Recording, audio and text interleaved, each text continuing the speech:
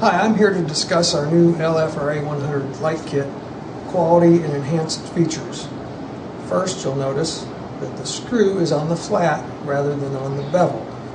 This allows it to match our LFRA 100 SP lite kit, and it gave us twice as many combinations available for the LFRA 100 SP kit.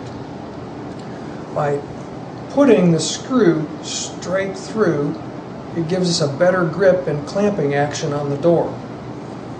Another thing is we've changed to 18 gauge, which is a very sturdy kit now. And we're going to be embossing the UL logo so there's no more stickers to either get painted over or scraped off.